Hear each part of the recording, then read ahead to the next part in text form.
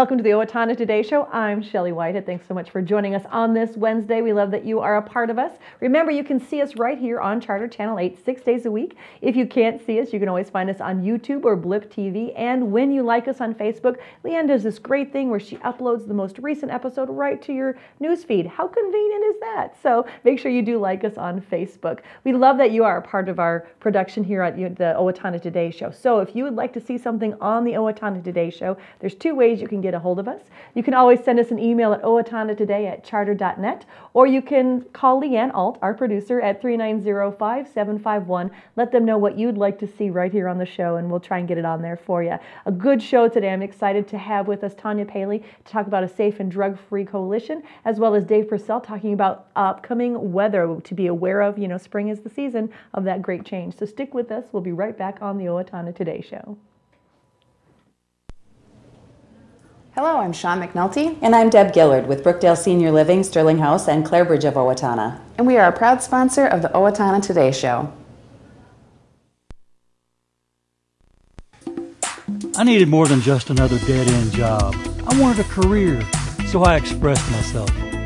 With the kids off to college, I decided it was time for me to go back to work and express myself. Express got me in touch with some really great companies. Now I'm on my way to a great career. Express Employment Professionals is in contact with thousands of companies in need of quality employees. Come in now and get the job you deserve. Express yourself today.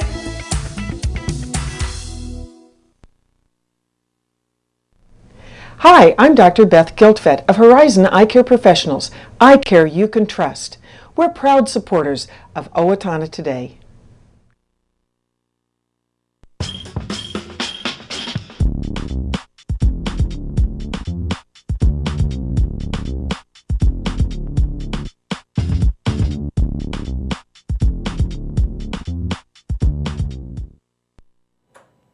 And we're back with the Owatonna Today Show. Tanya! Good morning, How's Shelley. it going? It's going great. How was your Passover? Oh, thank you for asking. Yeah, it's uh, it's done. We get to have bread again. Yay! the carbs! yes, I went on a lar- low carb diet for the week. well, yeah, Leanne wants to know if it works. We'll save that for another show. but we're here to talk about Safe and Drug Free Coalition. Yeah. And um, this is, you've been a part of this. It's your passion, isn't it? It is. To it help is. the area. Yeah. Awareness, understanding, and communication. Well, you know, this is such a great community for supporting our kids, and that's really what this is about, is supporting our kids with some real world situations that they can run into and trying to help um, prevent that from happening, trying to give them the information they need, give parents the information they need. So, um, yeah, I do feel strongly about it because I, you know, we all care about our kids, and I have kids, and I want them to stay safe and drug free. We'd love to think that this we lived in the Leave, leave It to Beaver world of, Right. of you know Wally and the Beav, and you know the biggest problem is they put a baseball through the window, but that's not the world we live in, and so part of it is just becoming aware of what is really actually happening around Sure. us. And, Yep. and you want to talk about perceptions today a little bit about that. I that. do. Um, so let me start with a little story. Um, last week we were at Willow Creek doing training for our alcohol prevention curriculum, and we started in sixth grade because we think that's the right place to start it. Um, not most most sixth graders are not drinking, but you know that is the time when we start to see some experimentation, sixth, seventh, eighth grade. And I know that might shock some people, um, but that's just that's what the research shows is that you know not all of sixth graders by any means, but some of them are going to um, start thinking about these issues. So we want to get in there and have those conversations right Start the away. dialogue. Yes. So we asked these sixth graders. We said we're going to be talking about alcohol prevention today. How many of we had, we had given them a survey in the fall, and we said, "What do you think the survey showed?" We asked you guys if you had had more than a drink of alcohol in the last 30 days. What percentage of sixth graders at Willow Creek do you think said that they had? And we got the craziest numbers, Shelley. I mean, we got um, up to like 40%. So one student thought almost half of the other students were drinking. Yes, they thought that a significant percentage of the sixth graders were drinking. Wow. So then, so we gave them the correct information, Which which, is it's like 5%, um, really pretty low in There's sixth a grade. huge difference Yeah. between 40% and 5%. Right. Right. And then, of course, then we said, well, okay, high school. Tell me about high school. What do you think by the time they get to 12th grade, what percent? And, you know, it was like 75, 80. They even said 100%. One of the kids They're said so 100%. um, so, why does this matter, Shelley? It matters for this reason. What we know is that, and we talked about this with the sixth graders in general, you know, we talk about peer pressure, but peer pressure is not always, you know, here, Shelley, have this drink. Peer pressure is about trying to fit in. And we as adults do this too. It's not just kids that do Keeping up with the. Joneses. Yeah, we kind of want to know that we're doing what other people are doing, that we're normal. And um, so, because that's so important to us, and because it's really not at the level of consciousness, it's kind of unconscious that we're, you know, we want to be normal. Um, we t- kind of take our cues from what we think our peers are doing. And so, if sixth graders actually think, mistakenly think, that their peers are drinking, then they're much more likely to say, "Well, I'll try that because that's normal." everyone else is. I want to be normal. Yep. So what they have found, and and um, I was thinking about this. Have you ever been in a hotel where where they give you a little sign that says most of our guests reuse their towels? Yeah. suggest, suggest. yes. And what they have found is that when you give them, and they- they'll give you, you know, 27% of, or whatever, of the guests in this room have reused their towels, um, it actually changes people's behavior. If they know that their peers, the actual accurate information about what their peers are doing. So, what we want to do as a coalition is train folks in the community. First of all, we want them to know what the real numbers are so that they can tell their, you know, the young people in their life what's actually going on. So, for example, Yep. if only 5%, that means 95% of the students aren't drinking. So, Correct. most of my peers aren't drinking, then that's what I should do. Yeah, exactly. Exactly.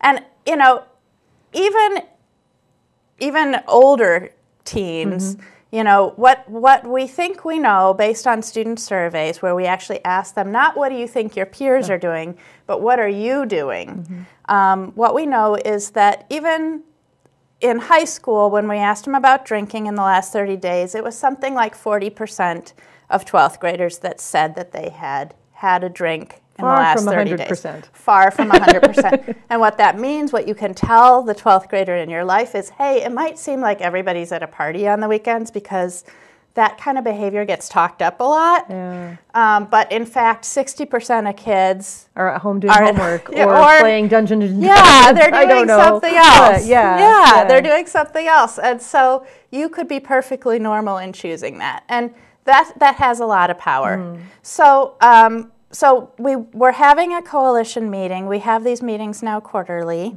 and our next one is uh, not this Friday, but the Friday the twelfth. Okay. And we meet at the fire hall um, at the over the lunch hour between noon and 1.30.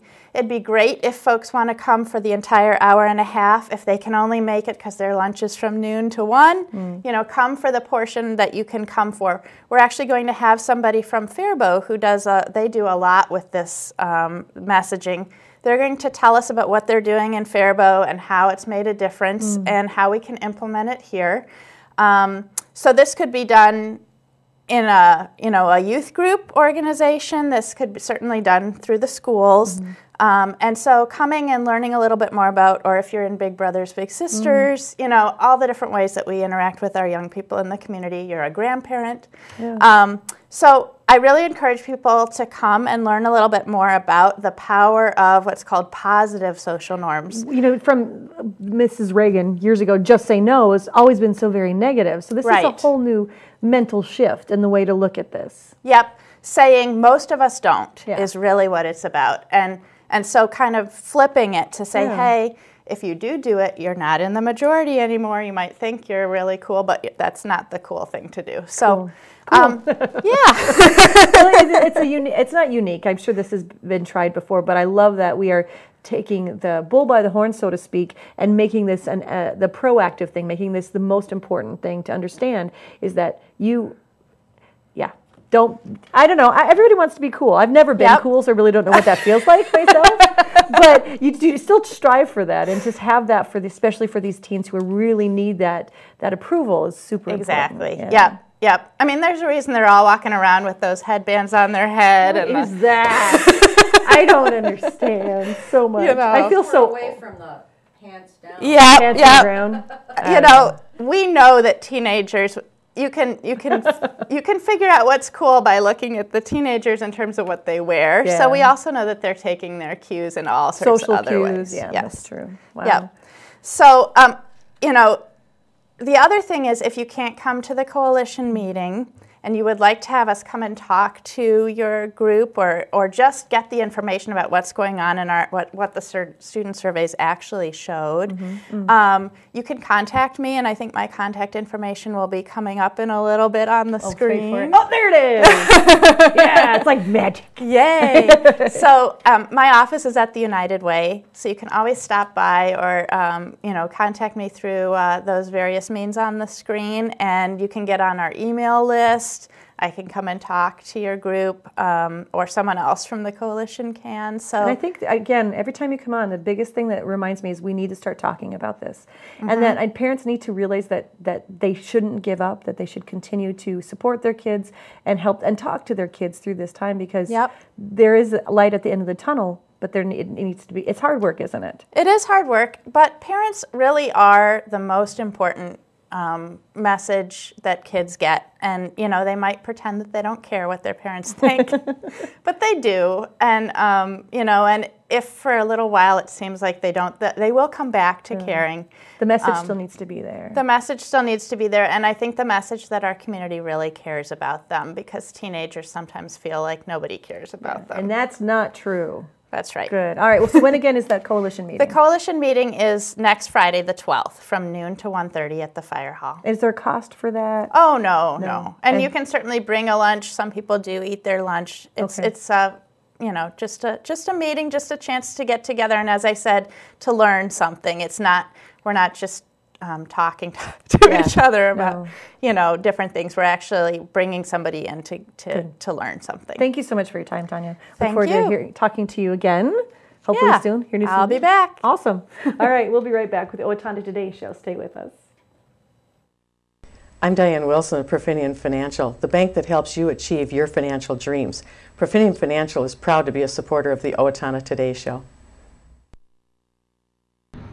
Hi, Ann Plaskanko here from Senior Place. Senior Place has new hours. Mondays and Fridays we're open 8 a.m. to 4 p.m. Tuesdays, Wednesdays, and Thursdays from 8 a.m. to 8 p.m. Participate in Zumba Gold, Bike Club, table tennis, computer classes, speakers, and much more. Don't forget the Senior Place Partnership Program with 39 businesses giving discounts and incentives with your Senior Place membership card. Membership is only $35 for the year, which comes to just $3 a month to be a member. Consider joining us today.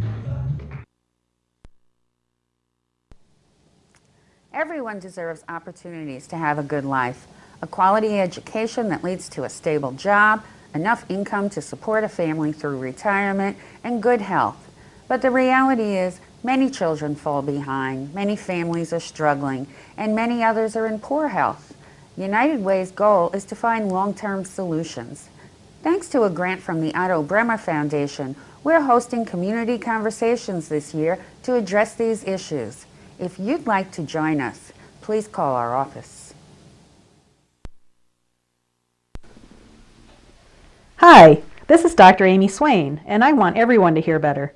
At Amy Swain Hearing Centers, we offer many different brands of hearing instruments because everyone has a different lifestyle. Let me, Dr. Amy Swain, help you find the best hearing device for your hearing needs at Amy Swain Hearing Centers of Owatonna, Austin, and Waseca. Call 1 800 804 3361 for an appointment today, or visit my website at www.amyswainhearingcenters.com because you deserve to hear better. Hi, I'm Brenda with the Mortgage Office of Brenda Bednar, aligned with American Mortgage and Equity Consultants, where closings feel right right from the beginning. I'm a proud supporter of the Owatonna Today Show. And we're back with the Owatonna Today Show. I'm Shelley Whitehead. I have with me Dave Purscell. Good morning, afternoon, evening. We never know when this is going to be say. That's true. That's it could true. be all day long. So Hi, I'm Mike. And I'm Jake with good Napa Auto. Parts. Dave and I, we've, we've been friends for a long time. A long time. Yeah, it's, and watched your boys grow up, and Mm-hmm. they were scared of me at some points, which is how I like it. I like to keep children on their toes. It keeps them honest. it does. It does. Dave, I want to. Uh, would you do a quick uh, introduction of yourself, and then talk? We'll talk about why you're here today. Absolutely. Uh, I'm Dave Purscell, and um, I'm the uh, coordinator for Steele County Skywarn. Um, we're a group of about 65 uh, volunteers right now on our roster. Um, that are trained uh, and certified by the National Weather Service. We actually have certified trainers from the National Weather Service as a member of our team, three of them right now. So we do our own training, um, but it still uh, meets the certification goals of the National Weather Service. Um, anyway, during times of severe weather, as this is the season, Tis the season, tis yeah. the season. Then, um, uh, then uh, the uh, we position these people at various portions of the county um, to monitor severe weather as it uh, as it threatens the uh, the county. Why do you do this? You personally? Oh, ab- I've been in and around. I grew up in Kansas. Oh, and- my goodness. And then uh, you know, so in and around uh, severe weather all my life. Um, the uh, time periods uh, prior to being here in Owatonna. Uh, years ago, I had worked at a radio station where we maintained a nine-county spotter group. Hmm. Um, so very active uh, with severe weather. Um, and add to that the fact that I'm a pilot uh, Hmm. and um, I love weather. So you're one of those people who, when the storm comes, you go outside to look at it. You don't go in your basement. Absolutely. These people scare me. yeah. Unfortunately, I'm, I'm one of those people that sometimes gets caught in the basement down at the uh, down at the uh, uh, fire hall, our, our operations center. Yeah. Um, you know, because somebody's got to be there to run Yeah. that. It actually takes about four and a half, four to five people to staff the fire hall portion of uh, of what we do. And and that Um, is ba- a, a lot of computers and and radar and that kind of thing down Yep, there. Yep, we use National Weather Service uh, radar feeds Mm-hmm. um, that we take and uh, some special radar software. Um, if anybody wants to know, it's GR Level 3 is the one that we prefer, that we use. Mm-hmm. Um, we also use another product called GR Level 2, same company. Mm. Um, and uh, but they take National Weather Service data feeds for the, the radar itself, Okay. and then we'll utilize that information combined with the observations of our people in the field Mm-hmm. um, to uh, to position ourselves safely. That's our Mhm. number one goal. Um, So they can do it again some other time. So they can do it again. That's right. Um, yeah. First and foremost, we want our guys to be safe, and then after that, then uh, to uh, be able to adequately provide advance warning of of, um, of threats to the county. When the, when you get that information, you have the spotters, you have Mm-hmm. the National Weather Service. What do you do with that information? As, That's a great question. Yeah. Um, our, our spotters are at, typically we position them, like I said, in, in what we call our sweet spots. Uh. Sweet spots are predetermined locations in the county where you have good visibility, um, a safe shelter nearby if necessary, and multiple exit uh, paths, multiple exit strategies. There's a lot more to, to spotting. Than around than just driving yeah, around, yeah. Um, because the, again, that number one goal is to be safe. Mm. Um, uh, we uh, it is important. Uh, what we do is important. These uh, our volunteers they donate their time, their gas, their hail dents on the car if, if Oh, it could happen. Fortunately, not often. Oh, good. um, but uh, but they they do that on a regular basis. Um, some of the people are you know mostly people have day jobs as well, um, and some of these people are actually uh, are paid, continue to be paid. Their employees employers pay them while they're gone Oh, spotting. Um, others are actually taking unpaid time um, and donating that um, To the safety of the community. To the safety of the community. That's fantastic. Um, it's a it's an important mission, and, and what we do for that uh, is we, we put these people out. Um, uh, like I said, we take about four four to five people um, that we, we staff the operations center, Mhm. and the remainder get paired up into teams of two. Um, and then sent out into the uh, county. The teams of two, actually, we learned that a couple of years ago during the uh, June 17th tornadoes, uh, the importance of, of having those people in teams so that they can, uh, you can safely have one person driving and the other person spotting. Spotting. Uh, so you see, you have 65 people. That number dwindles quickly when you pair them, and then you have the people and those who maybe not be available. That's right, and that's the thing is the fact that we have people that work night shifts that are available in the daytime, or daytime shifts and work available at Yeah. night. So, uh, and then when you can combine that with the fact that there are 430 square miles in Steele County, more volunteers would be a good thing. okay, Um, so you take the information from the field, you take Yes. the information, and then what do you do with that? And then that information, we're constantly communicating with the National Weather Service, either via radio. We have multiple means of communication: phone line, Mm. to, uh, amateur radio, um, and now 800 megahertz is uh, available as well. Because you never know what might happen Um, to some of the other modes. Absolutely, and so you always want to make, be sure that you have multiple means of communication. Um, not in, in some counties, the uh, requirement is that uh, you know you have to have an amateur radio license in order to participate in their spotter groups. Here in town, actually, we don't. Um, or in, in Steele County, uh, we have a number of people that are using cell phones, and um, because of the uh, the transition to 800 megahertz, we actually are able to to utilize 800 megahertz radios for those people that were previously on cell phones. Um, cell phones have the problem in the fact that that if I'm if I'm talking to uh, if there's weather threatening my spotters, I have to make individual calls to let them let Ah. them know of what's going on. Uh, as opposed to if they're on the, the amateur radio or on the 800 megahertz radio, we can make one announcement and everybody hears it. So there, when people are listening to severe weather, you know, we have um, oftentimes we hear from the, those on the radio, weather stations that, well, this is not an unconfirmed uh, sighting. What's the difference between a confirmed and unconfirmed sighting? How do we know that kind of thing? Yeah, a lo- a lot of times what you'll hear from the warnings will be indications where they'll talk about it in the terms of this is a radar indicated tornado. Okay. Um, and the challenge that you've got with that is the fact that uh, that radar is line of sight; it's straight beams, Mhm. uh, and the Earth, on the other hand, is curved. It's very complicated. it is. It's, it's, we've known that for some time, though. that The Earth is round. round. Um, and, and what happens with the uh, the primary radar site for this area being in Chanhassen, um, 40 plus miles away, uh, what that means is the fact that by the time the radar beam actually reaches Steele County, you're talking bare minimum 5,000 feet above the ground. Uh, by the other end of the county, it's closer to seven. So it could be really high Um, in the sky. Yeah. In other words, the radar is looking at the things that are happening in the mid to top levels of the Mhm. storm, as opposed to the severe weather like a tornado or straight line winds, which are all occurring in the bottom thousand feet. Okay. Um, so therefore, confirmed, you know, or spotter, uh, you know, trained spotter indicated warnings do have more credibility simply because they're there. As opposed to somebody calling just some Joe Blow saying, I call, I see a, a, a tornado. A train spotter actually has more credence? We've got, the, yeah, we do have the, the credibility because, frankly, we've been taught, you know, how to identify the things that look like tornadoes but really Ah, aren't. Okay. Um, and so there's a number of different uh, portions that go into that. Mhm. Um, uh, but that's what our training is about. We Mhm. provide that free as well. We already did our tra- first uh, round of training for the year, that we've had several requests that came in almost immediately afterwards.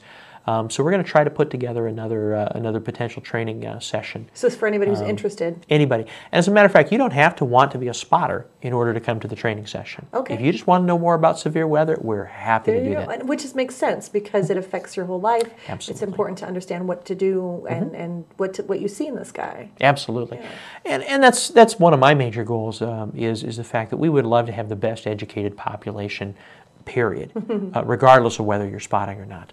Um, it's uh, it helps us to be able to to know it helps you to be able to know what we're talking about. Yep. Um, but we do work with uh, with the spotters. We will actually, when they call in, we'll actually we have a, a public information officer, one of our team that's down Mhm. there, which is dedicated to bringing those updates not just to to the people through the local radio stations, Mhm. through local media. Um, we do have a couple of, of, of our spotters which are currently carrying dash cams. So Ooh, it is fancy. possible if you go out and visit our website, you can have a link off to some of the dash cams.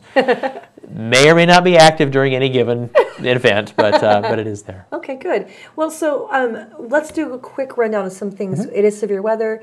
We need to be aware of it. What are some things people need to be aware of in their own homes once they hear these se- severe weather alerts? Absolutely. Um, first of all, the, the storm sirens that you hear outside, those are intended for outside. They're really not intended for you to actually hear them inside the house. Oh, okay. So um, uh, don't don't be you know be aware of other things, other f- forms of information. Um, but uh, the the difference between a watch and a warning, a watch is indicated early, typically very early in the day as they're talking about these things, that uh, the conditions are favorable for the formation of either severe weather or um, severe storms or a tornado, depending on the type of watch. Um, the second form is the, the warning, of course. Warning indicates the, con- the, that actual, you know, either the radars detected or spotters have, have uh, indicated that uh, the tornado or severe weather Okay. uh, is occurring at that time. So there's actually Um, it's been spotted. it whatever has been that spotted in one form or another. So therefore, it's it's important at that point to to be cognizant that it is going on. Take it seriously. Okay. Yeah. So just be aware of that. Those differences are very important. They are. Sometimes they get confusing, and I know there. I think they might be trying to change some of those things up, but maybe we can talk about that at another time. So Sounds great. I want to thank you for your time. And if you do you would like more information on how to become a spotter or just even go to one of those training sessions, you see the information right there on your screen. Screen. I know Dave would love to have you be a part of it. Absolutely. Good. It's a pleasure seeing you again. Good to Take see care you. of you. All right. We will be right back with the Owatonna Today Show. Please stay with us. Hi, I'm Mike. And I'm Jake with Napa Auto Parts. Napa has the know-how for all your automotive needs. Napa is a proud supporter of the Owatonna Today Show. Have you talked to your teen about marijuana lately? Maybe you should. Regular marijuana use can sap a teen's motivation to learn. Users do not live up to their potential and drop out of positive activities. Marijuana affects memory and learning and stays in your system for weeks. Marijuana also affects judgment and perception. Reaction time when driving is reduced by 41% after smoking one joint and 63% after smoking two, affecting the safety of your teen and other drivers on the road.